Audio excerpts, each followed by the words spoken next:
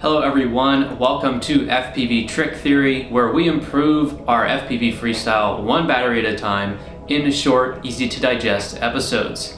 This is the first video in this series, so we're going to start with a relatively simple yet nuanced topic, throttle management. So throttle is kind of the foundation of your flying and of freestyle. So mastering the throttle will lead to smoother, more consistent, and more engaging flights. So let's see how to do that.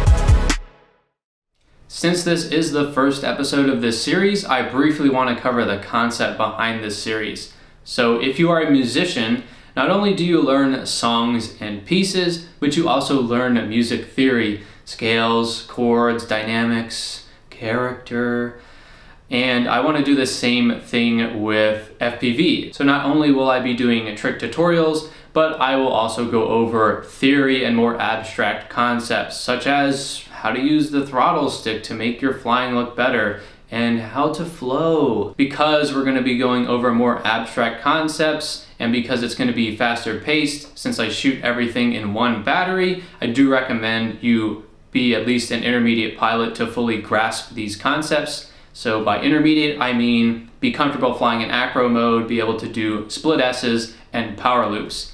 If you're not quite there yet, that's 100% okay. I have another series called How to FPV, which can take you from as beginner as complete noob all the way up to what I call intermediate. So if you're not quite intermediate yet, go watch that series and I'll meet you back here to continue to improve your freestyle.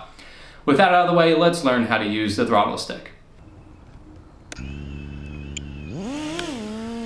Alright, so maybe the biggest concept to go over here is just being smooth with the throttle, which sounds straightforward, but I'll explain a little bit more in detail. So when you first start flying and you're learning how to fly, a lot of times you're just trying to control your altitude and you overcorrect a lot. And you go up and down with the throttle stick like this. And you want to try to get away from that as much as possible so you really want to try to anticipate the changes in height of the quad and then make micro adjustments with the throttle stick. So it should really look like your throttle stick isn't really moving at all because you're able to make those really small adjustments. And it may take a really conscious effort on your part to try to anticipate what the quad is going to do and that's just something you have to do and learn and eventually it becomes second nature. So you don't want to be going up and down like this. It doesn't look very pleasing. Now, a bad habit that often forms is actually just moving the throttle stick a lot for no reason at all, especially when like going around a corner like so. Uh, it doesn't help you corner, it actually makes things a lot less smooth, especially if you're not careful with your throttle stick. You can like accidentally mix and yaw, or if your quad is tuned badly, you'll have bobbles, and you don't want any of that. And same thing goes for something like a split S. When you pull out, you don't want to just jam on the throttle stick all of a sudden because once again, if your quad is tuned badly, you're going to get a bunch of prop wash and it's just not smooth to the viewer. So what you instead want to do is make small changes in the throttle, everything smooth, slowly feed in that throttle, slowly feed it in, and that makes everything look a lot smoother because it is smoother. Slowly feed it in, and it's a lot easier to control uh, any kind of catch in a move because you kind of are giving yourself time to react by moving the throttle stick slower.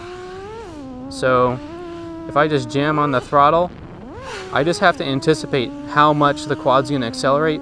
But if I slowly feed in the throttle, I'm constantly getting feedback as to how much the quad is accelerating. Hopefully that makes sense. Now, another thing that comes along with throttle management is just managing the position of the quad relative to the objects that you're flying around. So, you know, you want to make it look like the quad is going really fast, but I'm flying really fast right now and it doesn't look like the quad's going very fast because I'm really high off the ground. Whereas if I slow down, okay, and then I drop the height of the quad, this looks quite fast because I'm so low to the ground the ground is rushing by the camera. So you really want to master those micro adjustments of the throttle so you can fly as close to things as possible because that's going to give the illusion of speed to the viewer. And it's not just flying around like I am now, it, it goes for tricks as well. So if I do some really big split S over this basketball hoop,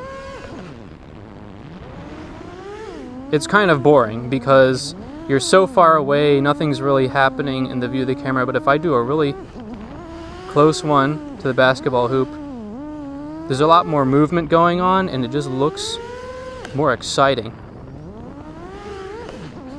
So that's something to keep in mind is you really want to try to use as little throttle as possible. Once again, we'll do it with the, the monkey bars. So that was kind of a lot of throttle. Let's give it even more. Okay, so that one was a lot of throttle, pretty boring. Now if we give just a little bit of throttle.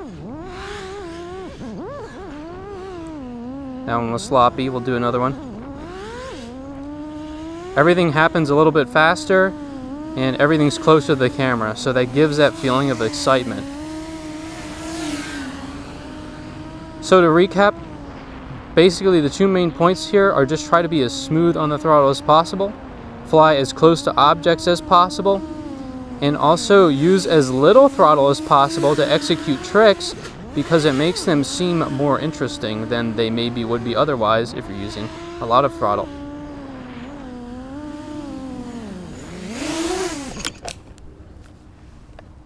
That is it for the first episode of FPV Trick Theory. I hope you guys learned something from the video or at least enjoyed it. If you did, please like the video and subscribe so you don't miss future episodes. Let me know in the comments what other tricks or concepts you would like to see me cover in future episodes.